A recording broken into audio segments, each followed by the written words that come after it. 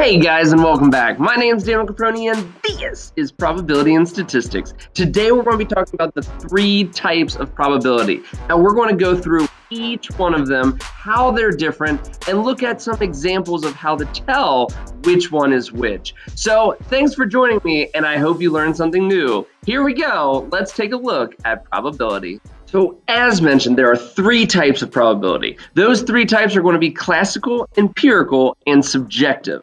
Now, we're going to start off by looking at classical probability. Now, classical probability is your typical, like, ACT question or in the classroom type of probability you're finding. It's the chance of rolling a specific number on a die or drawing cards from a deck or drawing a name from a hat. In other words, it's any type of probability where they all have the same chance of occurring. So, what do I mean by that? Well, what I mean is, for example, when you roll a die, there are the numbers one through six. Now, none of those numbers, as long as you're not dealing with a weighted die, should come up more often than others. All the numbers one, two, three, four, five, and six all have the same chance of occurring. And that's what makes it a classical probability question. Now, in order to find those type of probabilities what you need to do is find out the total number of outcomes that can occur in that sample space. And you take that number and put it on the bottom of a fraction. And then on the top of the fraction you go ahead and put the number of outcomes that are in your event. For example if i were rolling dice maybe i would say i want to roll these two dice and I want to know the probability that when you add them together, you get an even number.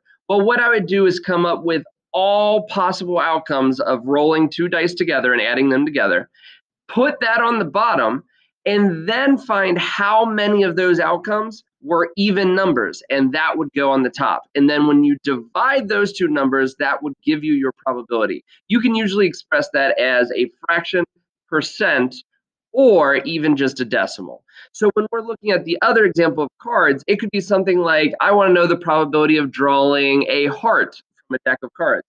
Well, there's 13 hearts out of the 52 cards. So that means that the probability of finding something like that would be 13 over 52.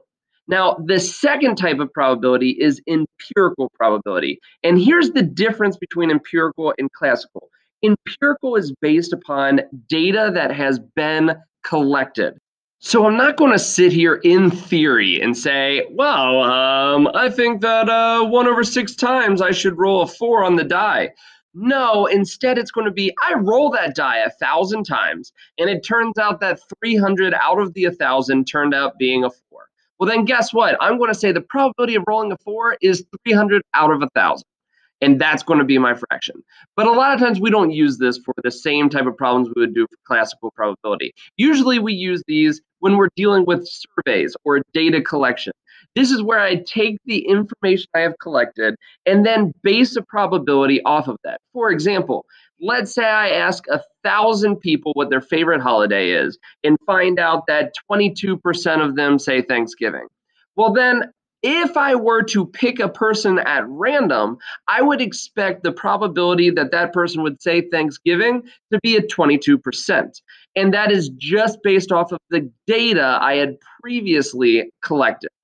Now, the third type that we're dealing with is subjective probability. Subjective probability is like the least favorite of statisticians because subjective probability is not based 100% upon just the stats or any type of math you're doing. In this case, we're dealing with intuition, educated guesses, estimates. This is where you're looking at a doctor or a sports analysis or the weatherman.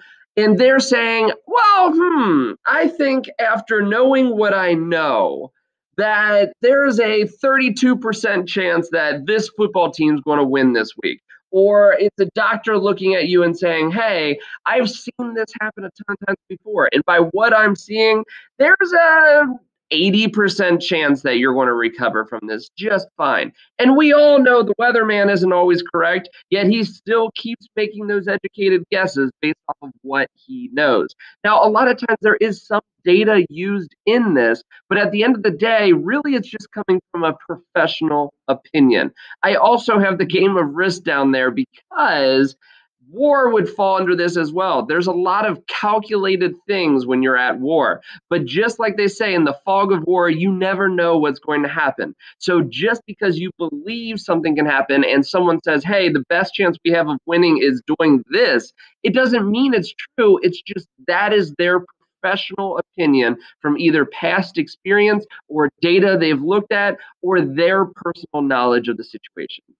So let's look at a few examples. I'm going to read this through with you, give you a second, and see if you can tell me which of the three types it is classical, empirical, or subjective.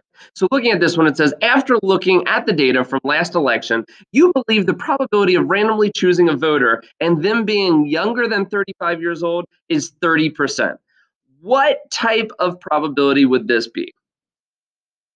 Hopefully, you said empirical. The reason it is empirical is because it says this is based off the data from last election. So, this is not my professional opinion or anything. This is strictly coming from data we have collected from a previous situation.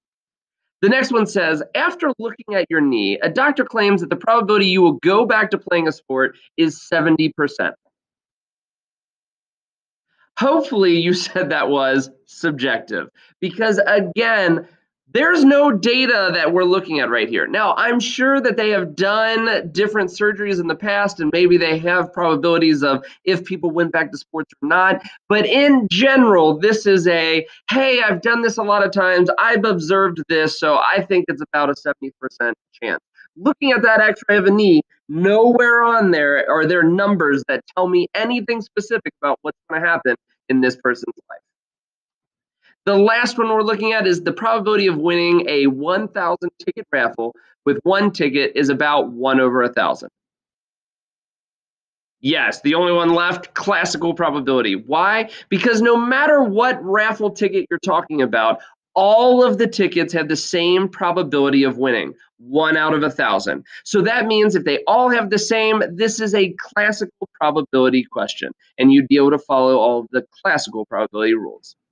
Well, guys, those are the three types of probabilities we have classical, empirical, and subjective. Hopefully, you can tell the difference between the three. If you have any questions more about that, go ahead and leave it in the comments below.